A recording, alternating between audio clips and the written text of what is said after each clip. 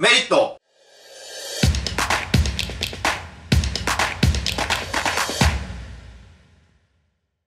どうも、篠原です。えー今回ですね、塾予備校の種類とメリットおよびデメリットについて、えー話したいと思います。この動画見てる人はですね、まあ、塾予備校行ってみようかなと、えーまあ、そろそろ必要かな、みたいな、えことを悩んでるかなというところで、え紹介します。まず、え塾、えーですね。塾の方が、えー個人がやってる、まあ、こじんまりした塾と、大手がやってる、えーまあ、いわゆる予備校と呼ばれるようなところですね。えーいわゆる河合塾とか、えー寸大とか、えそういったところがあるかなと思います。で、あと個別指導ですね。個別指導、えのところとか、あと、え家庭教ですね。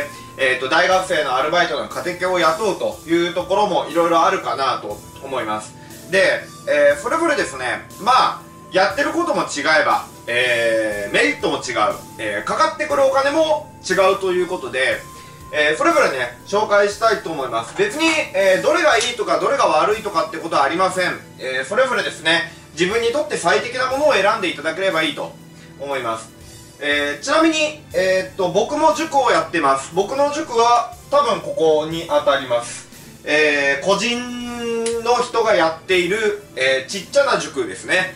はい。に、えー僕の塾、篠原塾は入ります。で、えーまあ自分自身、あの、僕の塾長やっててわかるんですけど、えっ、とですね、こういう個人塾、あのーかかってくるお金はまちまちです。えっ、と、高いところ、安いところ、いろいろあります。その塾が、えーどれぐらいその、自分自身に価格を値段をつけてるかによるんで、えー安いところもあれば高いところもあります。でえーっとね基本的に実績がそれなりにあるしえーっといろんなその個人塾の人をまあ知ってるんですけど基本的に能力高いです。というのもあの自分で塾やろうってよっぽど自信ないとやらないですから。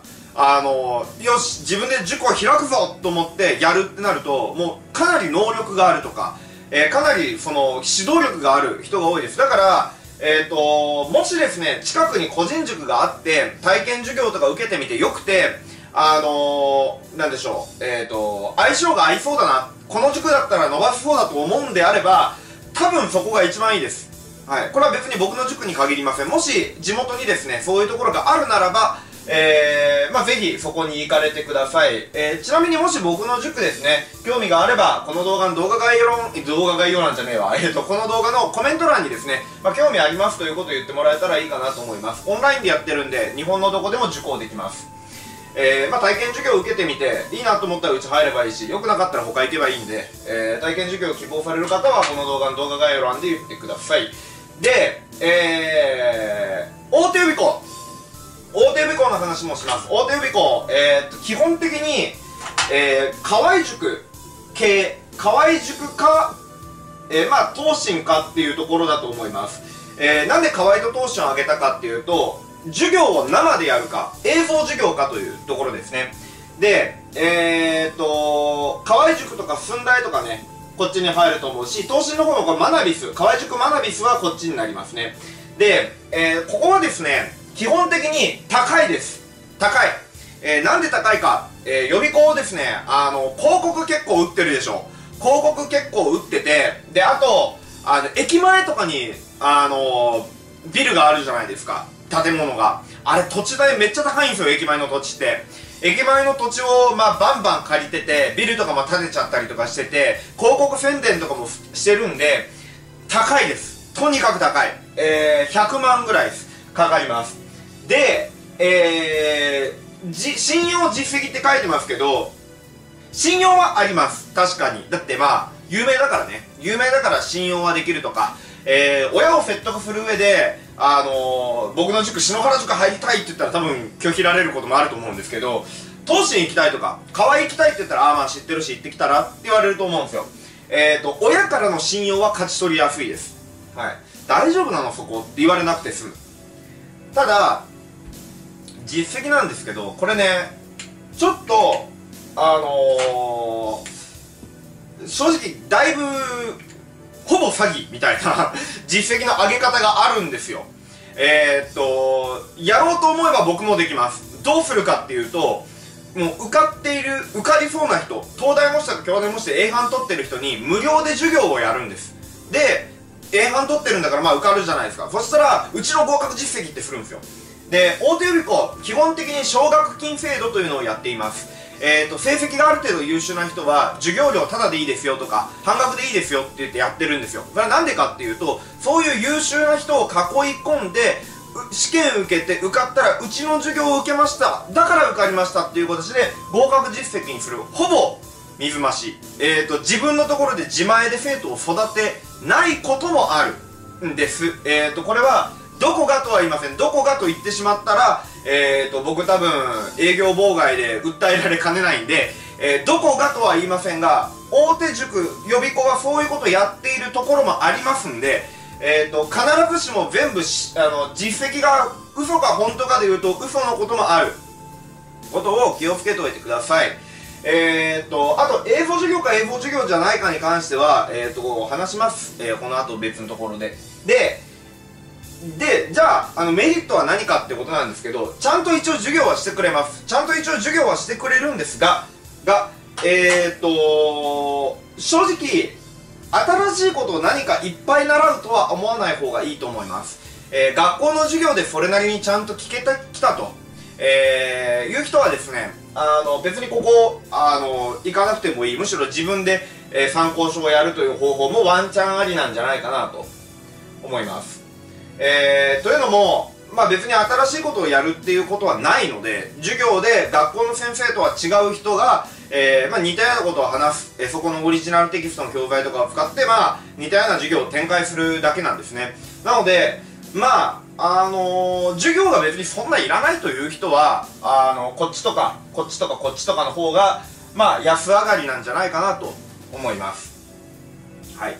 でえー、個別指導。この個別指導は何かっていうと主に大学生のバイトがやってるやつです、えー、大学生のバイトがやっている個別指導のやつなんですがこれは安いです。基本的に、えー、僕もですね大学生兄弟生だった時ここでバイトしました。ちょっとだけ、えただし質は基本的には低い。えーと僕自身はですねえその個別指導のところでちゃんとやってたんですよ。えーと一応お金もらってるわけじゃないですか。えーと、お客さんからお金をもらって教えることに従事してるわけでしょ。一生懸命やりました。僕は。ところが他の講師の人はもう雑談ばっかり。向こう大学生でバイト代もらえたらいいんで。時給だから椅子に座ってたら金が入ってくるんでもう生徒と雑談ばっかりです、はい、恋バナとかしてるんですよ。他の講師はね。でこれね個別指導の塾行って聞いてみてください。いや篠原さんという人がいてその篠原さんの動画で個別指導塾そういうところもあるから気をつけた方がいいと言われましたと。お宅はそういうことやってるんですか？いやいやいやいややってませんよって絶対言います。あのー、そんな品質の低いことやってないって絶対言いますからえっ、ー、とこれ運次第です。あのちゃんとした、えー、大学生の人に当たるかどうか運次第。えっ、と特に地方地方でやっているこういう個別指導のところ。えー、まあちょっとここで例を出すとあのどうかなと思うけどまあ、えー、申し訳ない。島根県の人。例えばね。島根県とかの田舎の人って田舎ってこれあるとするじゃないですか。大学生のバイト。せいぜい島根大学ですよ。せいぜい島根大学の人がこの個別指導に従事している。島根大学にはちょっと失礼ですけど。でもしあなたが例えば東大行きたいとか京大行きたいって思った時に島根大学の人が島根大学しか受かってないのにそれより上の東大京大に受かり方分かるかって分かんないじゃないですか。だから田舎の個別指導のところは あの自分の求めているレベルの授業があるかと言われたらちょっと微妙だからね。あの東大京大行こうと思ったら島根大学医学部医学科の人が個別指導やってくれるんやったらまだしも。えー、普通にあのなんでしょう。東大京大行きたい。でも島根大学例えば経済学部の人が授業する。僕があ僕というかその授業されて東大京大行けるかちょっと微妙ですよね。であと本当に運次第ですこれは。だからまあ安かろう悪かろうのこともある、えー、金を払うだけ払って全く成績が上がらないということもあります。これは大学生のバイトなんで、えーと、ちなみになんですけどえー、僕僕の言ってたところですよ。僕の言ってたところなんで全部が全部そうだとは言わないですけどまあ多分そうでしょう。えっ、ー、と教育に関するじゅあの講習1個もなかったです、えー、習ったのは1つだけ、えー、業務マニュアル。えっ、ー、とあなたはこれから教育業に従事するんだけど、えー、やっちゃいけないことが1つある。生徒の、えー、メールアドとか、えー、LINE とかを交換しちゃいけないいけない。であともう1個やらないといけないことが1つある。えーと、報告書があってその報告書は保護者に提出するから、えー、それを書けと。で授業時間が、まあ、例えば60分だとするじゃないですか。そしたら僕としては60分間みっちり教えたいんでもう報告書なんで親に出すもんだから生徒に対して授業したかったんです。だからな59分50秒授業してて10秒間だけ報告書書いたんですよ。そしたらこれはダメだと。えー、正直授業とかはどうでもいいから報告書だけは親に見せるんだから親に見せるものとしてちゃんと書けって言われたんです。うん。でまあ確かに僕も悪かったところはあると思うんですけどあの、他の人は雑談を40分やって20分かけて報告書書いてるんですよ。っていうことをやっているというところでした。僕の言ってたところは。えー、個別指導のところです。大学生のバイトがやっているところですが。えー、品質は最悪でしたね。あそこは。えーと、僕はそこの個別指導でまあこんな教育やってられっかと思ってまあ時給すごく良かったんですけど辞めて。でその後まあ人生経験だと思ってあの清水寺でバイトを始めたんですね。清水寺でバイトをして。で時給は低かったけどまああのまあ辞めてよかったなと思ってます。あの正直なんだろう。ちゃんとしてないことをやってお金だけ儲けるってのは僕あんまり好きじゃないんで。自分自身の品位が下がる気がしてね。嫌だったんですけど。まああの個別指導はそういうところもあるのでえー、っと行くんいいですけど運次第ですよと、えー、安かろう悪かろうのケースが非常に高いです、はい、であと家庭教家庭教なんですけどこれは比較的いいかなと思います。えー、っと正直僕の中で家庭教は結構ありです、えー、というのもですね家庭教ってあのややめれるでしょ？パッと。この辺って契約でガチガチにしてその金絞り取るだけ絞り取ってそのやめれないってことよくやるんですよ大手予備校って。あの大手予備校って株式会社ですからね。株式会社なんであの大手予備校はあの一番に考えてることは何かっていうと株主の利益なんです。はい。えー、要するにこれは金儲けの箱なんですねここは。あのなんですけど家庭教に関してはえー、もちろん、あのー、お金儲けっていうところもあります。バイト代払えってもちろん言ってくると思うんですけどえー、っと辞めようと思ったら辞めれるじゃないですか。はい。だからえーとまあ、結構融通が利く。ここの人がダメだったらこの人この人がダメだったらこの人っていうこう融通が結構効くんで家庭教は結構ありなんじゃないかなと思います。しかも比較的安いですね。えー、合わなかったらやめれるし、えー、すぐ、えー、比較的安めかなと。まあちょっとものにものというか人によりますけどね。ただしここは実績はありません。もちろんそうです、えー、プロの家庭教師っていう人がたまにいます。えー、まあ実績はまあはてなかないかですね。はい。っていうところです。はい。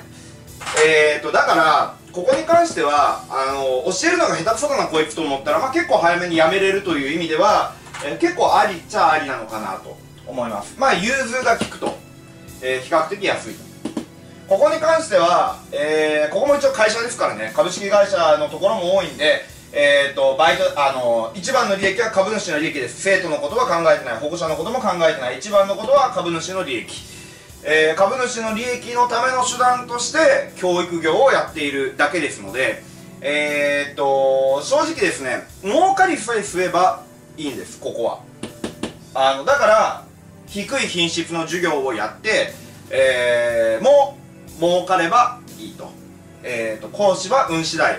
まあ僕の大学生の頃のようにあの結構真剣にお金もらってる以上ちゃんとせなって思う人もいればいやもう金さえ入ればいいんだよ。まあみんなもそうでしょ。大学生になった時一生懸命仕事しようって思います。多分思わないと思うんですよ。もうお金さえ入ればいいんです。ってなってまあ、例えばコンビニとかで働いたとしても「シェフ」みたいな感じじゃないですかでしょ。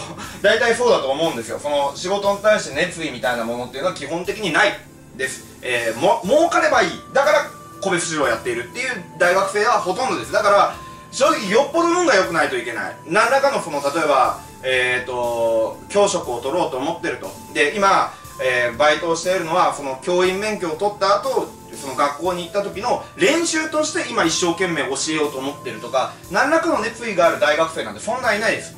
でまあそれはなんでかっていうとみんなもそうでしょ。みんなもアルバイトやります。コンビニで働きました。熱意持って接客しますか？しないでしょ。えー、もう儲かればいいじゃないですか。バイト代さえ入ればいいと思っている。思うでしょ。っていうことなんでここは運次第です。ちゃんと熱意のある人に当たるかどうかラッキーアンラッキーだけです。で大手予備校。大手予備校は、えー、非常に、えー、いいところもある。えっ、ー、と僕は今までですねその無料電話相談っていう形でいろんな塾とか予備校に行ってる人の話を聞いてるんで、えー、すごくいいところもある。えっ、とまあ河合塾なんですけど河合塾は比較的、えー、ちゃんとしてるというか大手予備校の中で個人的に一番ちゃんとしてると思います、えー、もし近くに河合塾があるんだったら、えー、河合がいいと思う。えっ、とマナビスもえー、マナビスに関してはちょっとあのカッコがいるんで別の動画で話します。あの河合塾は結構いいです。あのただし大手予備校はあらかじめスタートレベルが結構高くないといけません。偏差値55以上あるよという人は大手予備校十分、えー、いいと思いますが、えーと、偏差値55ないっていう人、えーと、全島ですね。真剣だったらまあ60ですね。偏差値、えー、59以下真剣模試だったら59以下。全島だったら54以下の人はですね大手予備校行ってもなんか小難しいこといろいろ習ったぞってなって終わるかもしれない、えー、終わるケースが多いです。あの、僕の体感でですけどね。はい。なので大手予備校行くんだったらその結構今の段階で、えー、能力があってある程度こう力があると。で、まあ、経済力もそれなりにあると。親を説得するのに一番は信用性があるかどうかということだという人でえー、いう人は大手予備校行けばですねまあ一応おまあいいかなと思います、はい。えーと、ここに関してはまた別の動画作るんでそこでしっかり話します。で、えー、最後ですね、まあ、個人塾、えー、僕自身塾長をしているんで分かるんですが、えーと、個人塾やろうなんていうやつはですね基本的によっぽど自信家です。よっぽど自信家で、えー、そもそも実績がないと長続きしません。えーと、僕のサービスも今年やっぱり阪大に受かりそうとか京大に受かりそうとか京大もし A 班取ったやつもいるし阪大もしで B 班だっけ B 班とかそれぐらい取ったやつもいると、えー、そういう状態である程度合格実績というか成績上げているという実績があるようなやつばっかりです。じゃないと基本的に個人塾やろうって思わないから。えー、で値段もまちまち、えー、その塾次第だしえー、基本的に実績はやっぱりあるんじゃないかなと思います。やっぱりその能力がね高い人が多い印象です。はい、えー、しかもですね基本的にこれまあやっぱ基本的になんですけど基本あくまで基本的にですよ。あのー、例外はもちろんあると思うんですけど基本的にやっぱりあの能力があってそれなりに信念があります。あのー、じゃないとこんな手間のかかるあのビジネスをやろうと思わない。えーとなんでしょう。もうちょっとね楽に儲かる道はいっぱいあるはずなんですよ。そういう塾をやろうと思ったんだったら、え、正直医学部医学科通るはずなんです。医学部医学科通って医師免許を取ってでどっか僻地の医療に従事して定休日を月火水木金土にして日曜の午前中だけやるっていうふうにすれば別にその補助金とかだいぶ降りるからねお医者さんって。